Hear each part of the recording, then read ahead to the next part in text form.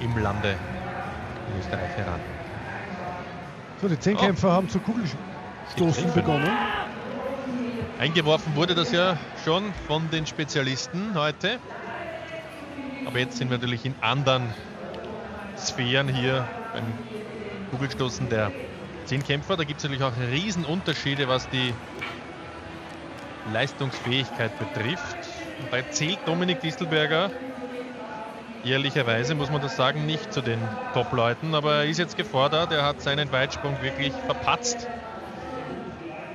Wir sind froh, dass er noch dabei ist. Gar keine Frage, denn das hat nicht gut ausgesehen nach zwei Fehlversuchen.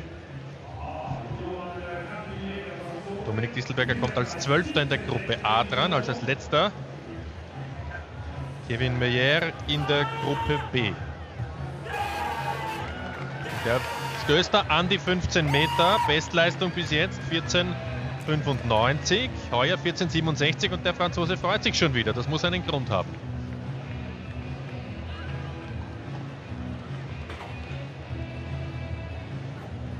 Der Grund ist 15,14 Meter entfernt. Dort liegt nämlich die Kugel und das ist eine persönliche Bestleistung für Kevin Meyer, seine zweite nach dem Weitsprung. Und der Mann ist drauf und dran, die Deutschen hier herauszufordern. Da braucht auch solche Leistungen, denn die sind auch nicht von schlechten Eltern, die Werte, die Kasmirek, Abele und Freimut bisher gezeigt haben. Und Rico Freimut ist ein sehr guter Kugelstoßer unter den Zehnkämpfern.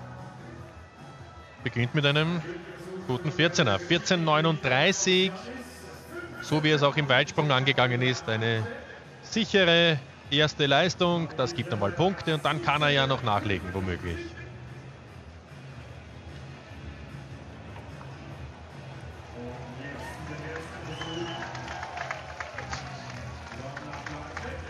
Ilko sind Nikolas, Gesamt Zweiter, auch dank einer Topleistung im Weitsprung. Er ist im Kugelstoßen nicht ganz so stark wie die zuvor erwähnten Meyer und Rico Freimuth. Der Beste nach seiner Kugelbestleistung ist übrigens der Norweger Riese, der in Kürze kommt. Oleksiy Kasjanov und Attila Siwotski, der allerdings mit Klammer, denn der Rotelier ist ja lang nicht mehr so gut, wie er in seiner besten Zeit war. Da haben wir jetzt schon Lars Wickern Riese. 15,94 in seinem besten Zehnkampf. Da fehlt ihm noch etwas. Aber Riese zählt jetzt nicht zu den Medaillenaspiranten. 1660 hat er sogar schon einmal gestoßen. Aber für eine Einzelbestleistung hier ist er auf jeden Fall zu haben. Der Franzose Geoffroy hat schon die 15 Meter genauso wie der Russe Sviridov überboten. Dominik Distelberger hier wirklich am Ende des Feldes mit 13.02 Bestleistung. Das heißt, er wird von seinem 13. Gesamtrang sicher nicht viel aufholen können. Auch Thomas van der Pleitzen ist kein unbedingt begnadeter Kugelstoßer. Aber der kommt da an die 14 Meter Marke heran. Wir uns jetzt nicht täuschen lassen, die eine Gruppe hat als Markierung die 14 und 15 Meter Linie. Die schwächere Gruppe sozusagen, in der auch von der Plätzen stößt, haben die 13 und 14 Meter Linie. Aber nichtsdestotrotz, mit 13,35 ist er schon sehr gut gestartet. So, da wird jetzt wild hin und her geschalten. Gruppe B, das ist die gute sozusagen mit Archo Abele 15,11 Meter. Euer schon geschafft.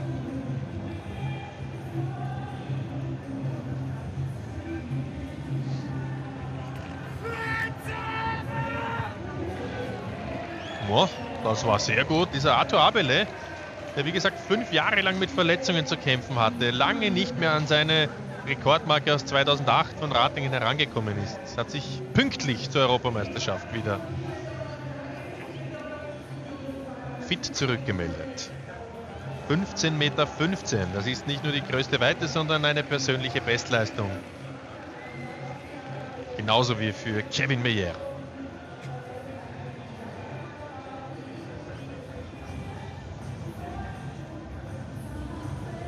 Also so gut aus dem Zehnkampf bei dieser Europameisterschaft tut.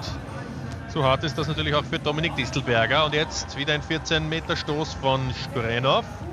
Das könnte die nächste Bestleistung werden. Schnell Arthur Abele, 2005 Junioren-Europameister, schafft Silber.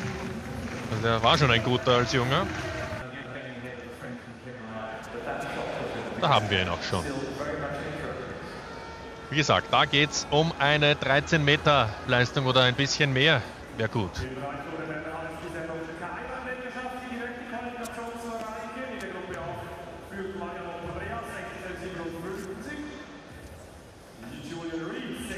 Ich glaube, die erste Linie ist nicht 13, sondern 12 Meter. Da habe ich Ihnen vorhin was Falsches gesagt. Das bedeutet, dass Dominik Distelberger hier wohl im Bereich 12,5 Meter landen wird. Er ist auch nicht zufrieden. 12,66. Ja, er hat einen Wert stehen im Ergebnis, aber da muss noch mehr kommen. Läuft noch nicht nach Wunsch für den Dominik. Arthur Abele, der hat schon einen Superstoß hingelegt. Er geht jetzt sogar in Richtung der 16 Meter. Also die Deutschen zeigen hier mächtig auf.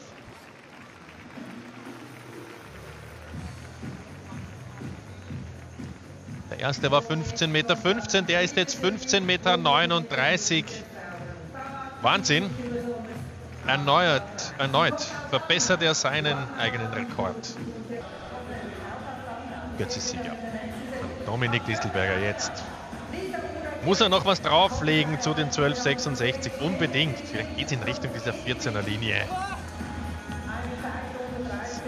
Besser. Bereich 13 Meter, aber wir wollen ja eine Steigerung gegenüber seiner Bestmarke. Also wir, er will es natürlich am meisten selbst. Ist eine Reaktion. Wieder zwiespältig. Gerade den Würfen, da hat er das meiste Aufholpotenzial. 1293 ist eine Steigerung. Der jährige Ungar, der ja, wieder zurückkehrt sozusagen ins Wettkampfgeschehen. 1504. Oh, wollte gerade sagen, das war einmal. Ja, eh, weil jetzt ist es noch besser.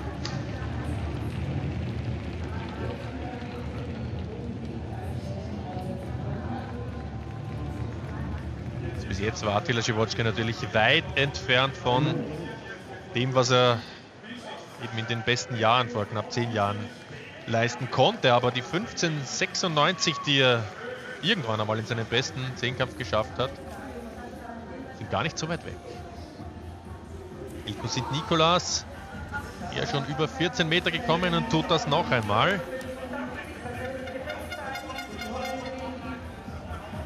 Das ist wirklich ein für uns ein kurioser Zehnkampf, würde ich sagen, denn da gibt es ganz starke Leistungen. 14,28 Meter jetzt für den Niederländer. Nur 3 Zentimeter unter seiner besten Leistung ever in einem Zehnkampf. Und auf der anderen 31. Und wir sind bei Dominik Distelberger, auch der kämpft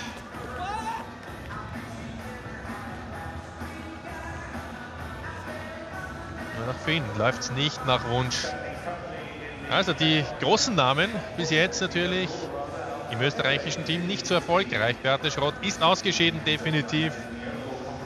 Da ist auch die Laufleistung 13,31 sicher für sie eine Enttäuschung. Und Dominik Distelberger, der wollte da die 13 Meter schon überbieten im Kugelstoßen des Zehnkampfs. Letztlich sind es, jetzt gleich sehen, 12,78 Meter. Damit bleiben die 12,93 aus dem ersten, aus dem zweiten Versuch in der Wertung. Aber wieder ein paar Punkte, vor allem im Jahr 2012. Ein großer Rückschritt.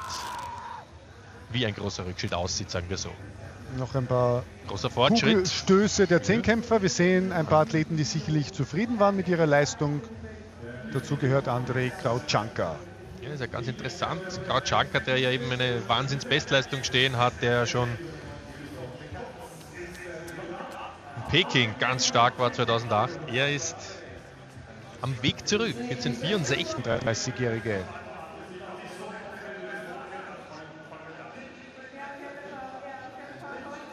Sicherlich auch motiviert, ist Vater geworden im Juni. Sein Sohn auf die Welt gekommen und ja, er wird vielleicht auch einmal mehr Kämpfer. Andrei Krautschanka wird wieder zu einem guten Mehrkämpfer. Der Sieger von Götz ist 2007, der Olympia-Zweite von Peking. Schau, jetzt freut er sich schon. Zuerst war er verärgert. 15,19 Meter, persönliche Bestleistung. Das kann ich jetzt nicht ganz so unterschreiben. Er hat schon 15,42 auch einmal gestoßen in einem Mehrkampf, aber er ist nah dran und ganz egal. Das ist super. Attila Schiwotzki, vielleicht sogar mit einem Disziplinensieg, der Senior. Und das sind natürlich Punkte und Werte, die sehr viel einbringen für die Herren, die wir hier sehen. Und, und wieder sind da einige Bs in Kombination mit S oder P. Genau, das hätten wir gern gesehen, neben Out. Mhm. Also sehen Sie ja, die ersten 20 haben wir hier schon aufgelistet. Nicht, dass das überraschend ist. Dominik Distelberger 24. Aber 12,93. Halber Meter mehr wären schon wieder 30, 40 Punkte gewesen. Das tut natürlich weh. Denn wir haben schon spekuliert und das war durchaus realistisch, muss ich ehrlich sagen, in Richtung Platz 5, 6, wenn alles perfekt läuft. Davon sind wir schon weit entfernt. Jetzt ist ein Top 10 natürlich auch schon sehr schwierig, vor allem wenn wir schauen, wie knapp mhm. die Besten, die wirklich Spannend. sehr, sehr gut abschneiden, beisammen sind. Rico Freimut, Goldfavorit, Sechster, obwohl ich, der kann sich gar nichts vorwerfen. Und der Rückstand ist Liefert einen sehr guten Wettkampf. Ja. André Krautschanka, Siebenter, also die sieben da vorne mit Krautschanka jetzt, die sind wohl die Kandidaten auf die Medaille. Van der Plätzen, der muss auch schon nachlegen. Und dann kommt schon eher die zweite Kategorie. Und Dominik Distelberger 18. Da im Moment 250 Punkte zurück mit 2,392. Nur zum Vergleich in Götz ist, auch wenn er